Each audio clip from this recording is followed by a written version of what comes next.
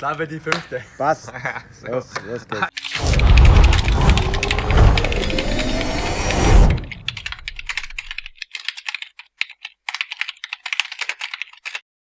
Juli, mittlerweile sind wir hier kurz hinter Wels angekommen im Hotel Fischer. Wunderschönes Hotel sind wir da und hatten jetzt gerade ein gutes Essen, ich glaube, mit einem super Buffet. Janik Steimle steht neben mir. Morgen geht's los um 12 Uhr in Wels mit einem Prolog, 2,5 Kilometer. Topf eben. Wir haben es gerade nochmal angeschaut, da auf unserem Roadbook. Und ich glaube, morgen Etappe für Janik. Janik, äh, bist du für morgen vorbereitet? Ich durfte heute schon ein kurzes Exklusivinterview mit dem, mit dem Matthias Wendle führen. Er hat leichten Respekt vor dir.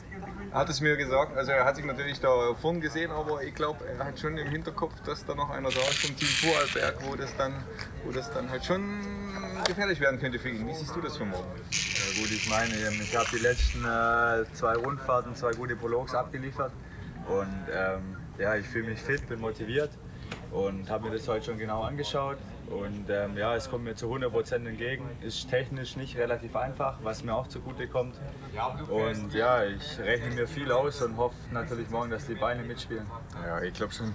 Gewinner der Oberösterreich Radrundfahrt, gelbe Trikot nach Hause gefahren nach Vorarlberg, also sensationell.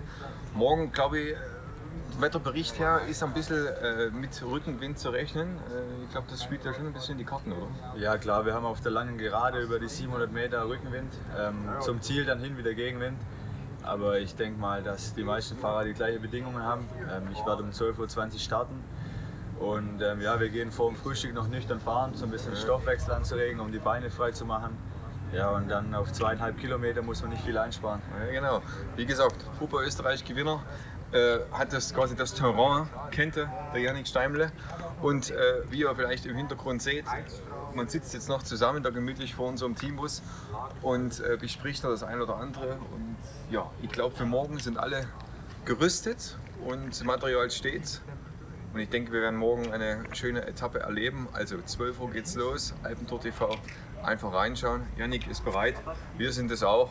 Also bis morgen. Ciao. Einschalten.